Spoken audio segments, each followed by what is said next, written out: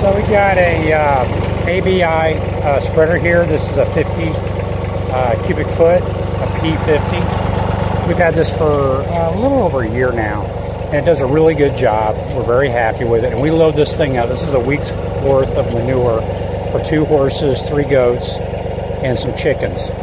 So um, what we do is we've got these bins set up uh, that are just a little wider than the um, than the uh, spreader uh, and about uh, five, six feet deep, a little over four feet wide.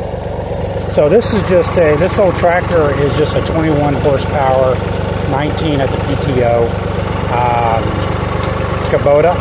We've also used our BX, uh, I think it's a 2600, which is about the same. Haven't had any problems with it handling the load.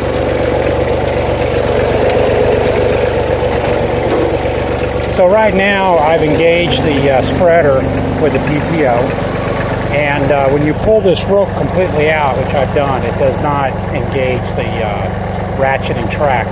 So I'm going to click it in one notch and it starts moving the material forward, increase the speed. I'm going to do it another notch.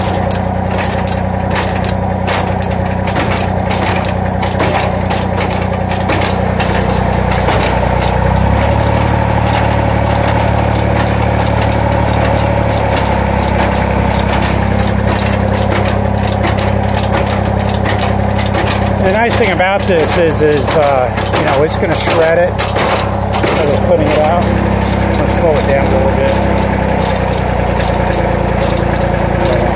Spray it out. It'll kick that manure up pretty high.